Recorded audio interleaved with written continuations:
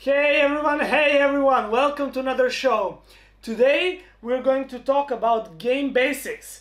And um, what is much important is that we're going to focus on the gaming like a business overall and we're going to focus on the game a business model. So that you can understand a little better how you do business with other people in the game industry. For example how you get about publisher about the distributor or how you go about um, game developer we're going to look at how those things have been before, how they are now, where, what is happening in the whole overall industry, and then we're going to dive in some numbers and see um, how are how is the revenue structured per segmentation in the game industry. And uh, I think that that's something very important, especially early on when you're designing your first game or something like that. It's to be all, right on the target, right on the focus. Where is the sweet spot? Right? When you are going about bombarding, you're not changing your target, you keep focus on your target, you're bombarding. That's exactly with game making. When you find and when you know what kind of game you want, what is the business model, who are your partners, you just go towards that goal. You don't change left and right. So that's exactly what we're going to talk about this game and see you in a minute.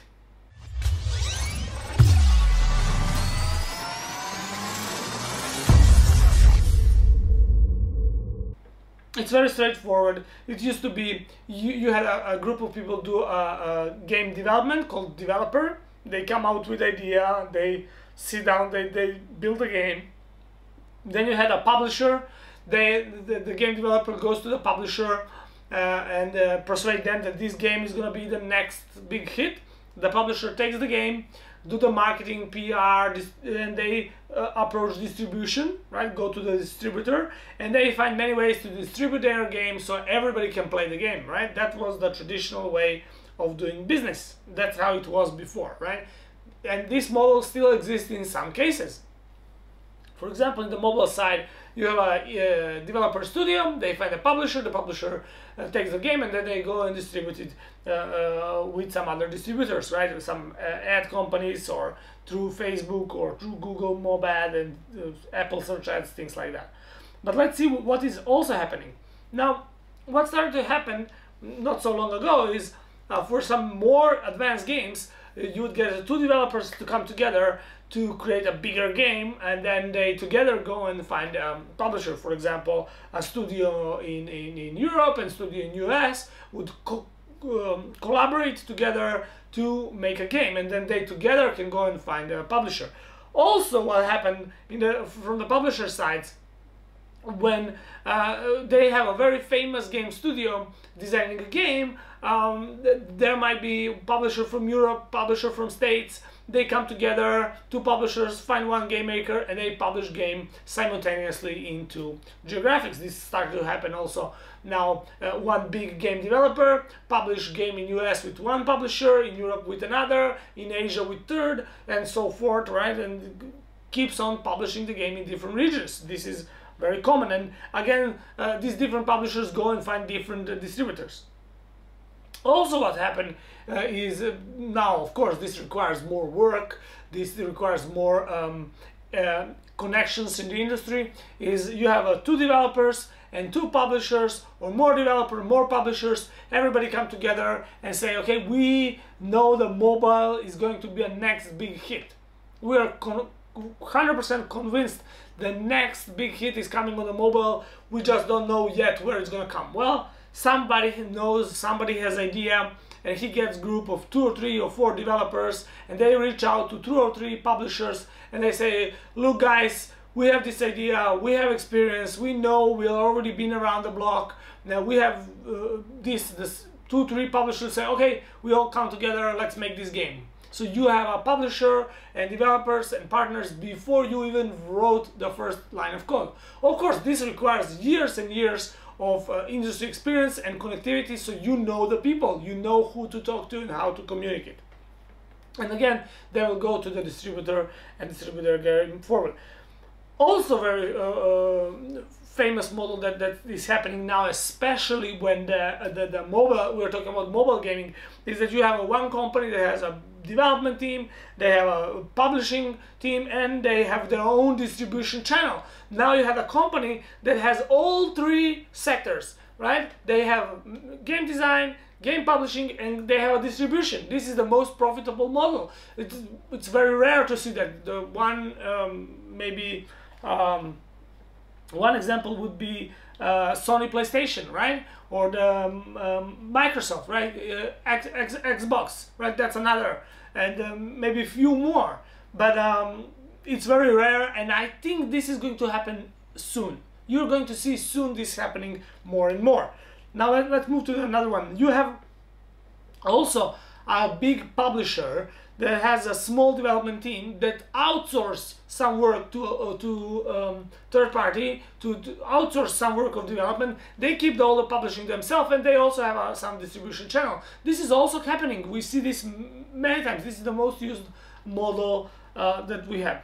And um, what is very important is now nowadays the rules are gone. There are no more rules. That's what i'm trying to tell you. There are no more rules in terms of um, uh, there is a one publisher, one um, developer, one uh, distributor. Now there's going to be many, many, many, many of them. The, the, the things are just increasing, multiplying. And um, if you are long enough in this industry and you know people in this industry, it's going to be much easier for you to collaborate with other people when, uh, especially when you have trust among people and when somebody know you and you have a big idea. You found that you found that uh, like I said before sweet spot. You know where is it. And now all you need is to get the people you worked with before. Of course how you work with them and how you treated them it's going to matter a lot. And uh, now you can get them all together put them on the same page say listen folks this is what we are going to do and this is why it's going to succeed. And you can prove all the metrics and uh, you're to have not so hard time getting uh, partners on board Uh, of course, you, you might have another model, something else that I didn't see here, but I think this is the most common uh, uh, uh, models that are happening recently and it's important for you to know that all these options exist. You might not choose neither one of them, you might stick to the very traditional one and you try some experimental, but um, you need to be aware these things happen because the market is overcrowded, the competition is very hard in the game uh, making space and I believe you should Uh, uh, at least think about some of these uh, opportunities or options that are uh, now presented to all the game makers. when we get back on this episode of Game Basics, we're going to talk about um, revenue and business models in games.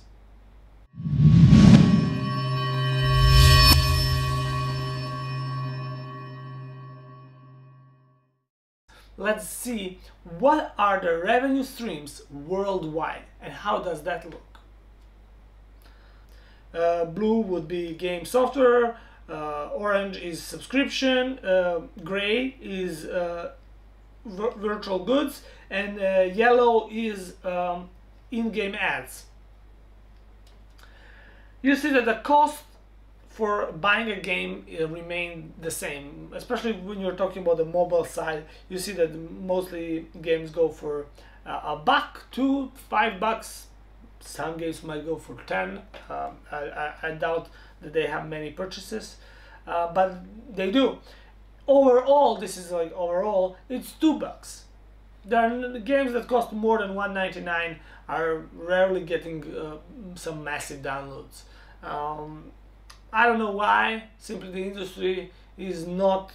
Uh, the users are not with so many free games to play. The users are simply not choosing to pay for that, and I think this is gonna keep happening even more and more. Uh, this thing will start happening on consoles and will start happening on PC as well. I mean, it's already begun, but it's gonna even increase. The thing also that's shrinking, like you can see here, is online subscriptions. So you had the growth of this uh, business model before where people would pay for online subscriptions. And what does that mean is that now people will be paying monthly for something. right? Whether they are getting some extra bonus or they're getting increasing speed to get some gold or something like that. Yeah, that came, that looked like it's gonna be popular, but I think overall it's decreasing, like you can see here from the numbers. Then the, the, the numbers are going down. That means in 2011 from five buck, and now to 2017 18 it's three bucks. So it's it's definitely down, like you can see, and it's not doesn't look to me it's going to grow back again. Um, now, interesting part, and that's in-game virtual goods. In 2011 was 4 buck, and now if you take a look in 2018, it's uh, predicted to be 21. And that's a huge growth, that's 5x growth.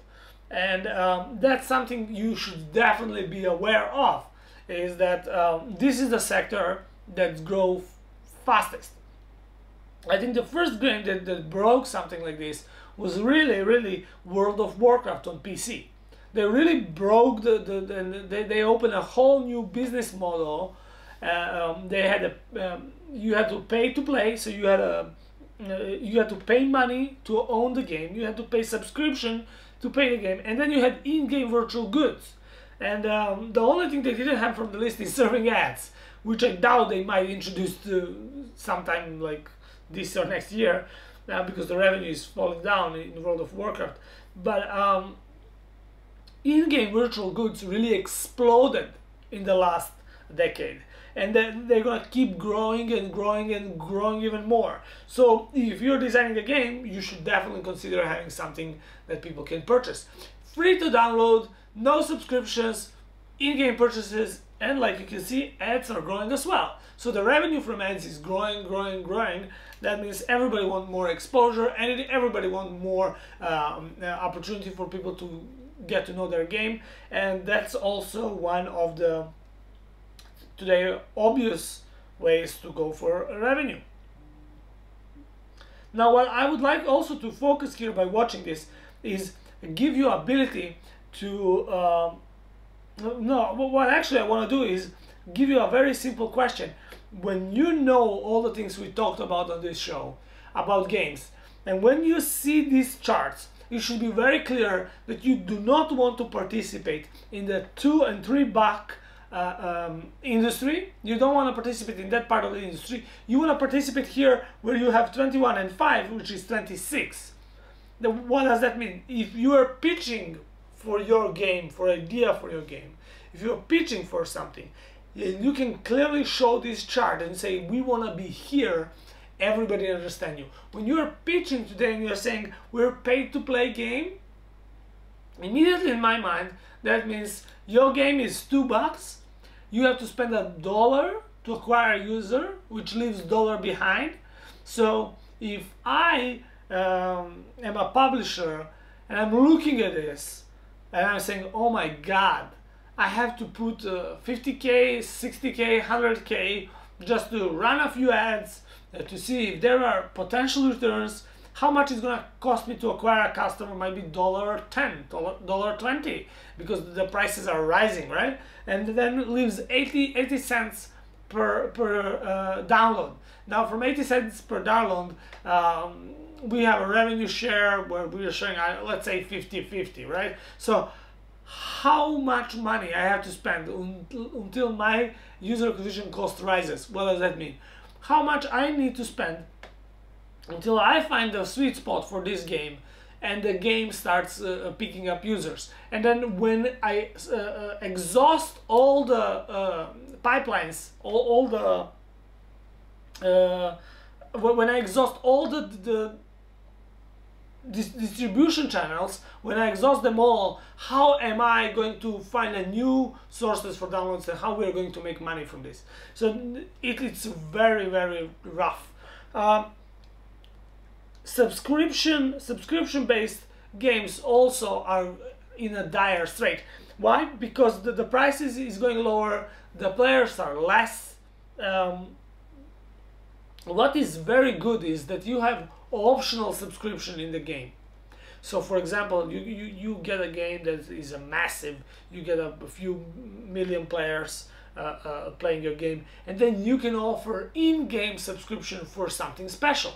Now your game is still free to play, but you offer something in game for subscription. That's that's advanced combo stuff that you can do. So you have uh, in-game purchases, you have in-game subscription for some premium model, you have um, also ability to opt, opt out from the ads in the game things like that. So subscription opts you out from the ads. People pay three bucks a month. They don't want to see any ad in your game. Uh, and, and they can pay for three months. They don't want to pay anymore. They, they don't pay anymore things like that. So I'm, I'm just giving you this raw data so you can come out with ideas uh, what would work great for your game.